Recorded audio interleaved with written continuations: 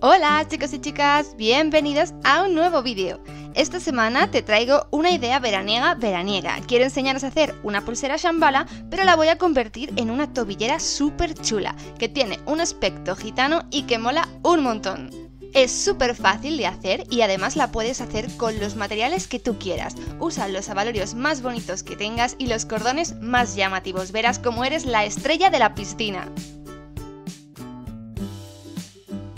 Para empezar, corta dos cordones de 50 centímetros y anúdalos a 15 centímetros del extremo. Corta otro cordón de 1,5 metros y pásalo por debajo hasta el centro. Coge la parte de la izquierda y pásala por encima de los cordones del centro. Baja la parte de la derecha y de abajo hacia arriba mete ese extremo por el agujerito que te quedó a la izquierda. Ahora coge el cordón de la derecha, lo pasas hacia la izquierda por encima de los del centro, baja el otro y de abajo hacia arriba mételo a través del agujerito que tienes a la derecha. Enhorabuena, con estos dos movimientos has hecho un nudo de macramé plano. Si no lo conocías, practícalo un poquito antes. Mete tu primera bola. Y haz de nuevo un nudo de macramé plano. Ya sabes, pasa el cordón de la izquierda hacia la derecha, bajas el de la derecha y de abajo hacia arriba lo pasas por ese huequito que nos ha quedado. Es importante que aprietes muy muy bien el hilo. Ahora coge el de la derecha, lo pasas hacia la izquierda, baja el otro cordón y de abajo hacia arriba pásalo por ese huequito que nos ha quedado. Ya puedes meter otra bolita. Esta vez a solamente la parte izquierda del nudo plano, ya sabes cómo es.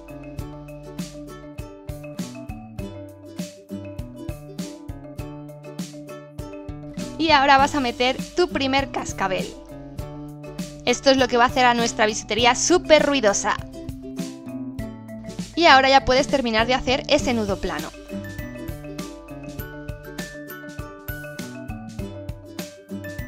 Intenta que el cascabel te quede dentro del nudo. Y en esta parte seguramente tengas que apretar un poco más. A partir de ahora es siempre igual, es hacer un nudo plano, meter una bola, hacer un nudo plano y en ese nudo tienes que meter el cascabel. Yo lo he puesto cada dos, pero tú puedes hacerlo como quieras. De hecho, me gusta mucho más cada tres bolitas, pero bueno, es lo que te digo, ya depende de tu diseño y de cómo quieras ser de ruidosa. Termínalo con un nudo plano normal y quema los extremos. Para rematarla lo vamos a hacer con un corredizo. Para ello, póntela de esta manera alrededor de tu mano. Y con un trozo de cordón de unos 20 centímetros tienes que hacer nudos planos a tu antojo. En mi caso hice 6. Se hacen exactamente igual que antes, solo que tienes que tener en cuenta el sujetar muy muy bien tanto los extremos que teníamos a la derecha de la tubillera como los extremos de la izquierda. Como ves, esto es súper fácil y siempre es lo mismo. Si ves que tener solamente una mano hábil es demasiado complicado, puedes poner esa pulsera o esa tobillera sobre un vaso o sobre una botella, algo que te ayude a sujetar el resto de los hilos. Te va a quedar algo similar a esto. Corta los sobrantes de esos últimos hilos que anudaste y quémalos un poquito. Por eso es importante que aquí utilices un cordón que tenga una base plástica. Finalmente, haz un nudo en cada uno de los dos extremos que tienes. Y listo. Si quieres hacer esta tobillera tienes todos los materiales de la antigua Casa Sala. Los puedes encontrar en su página web o en todas las redes sociales.